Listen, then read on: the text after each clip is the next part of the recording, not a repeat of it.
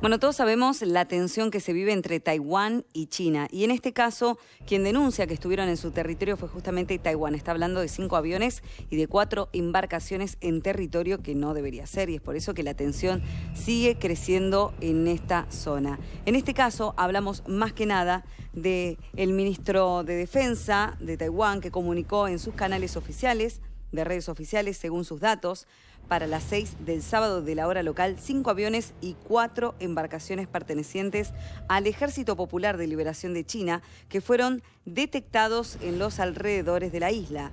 Dijeron se precisa que dos aviones de combate de Pekín entraron al suroeste del norte de la zona de identificación de defensa aérea.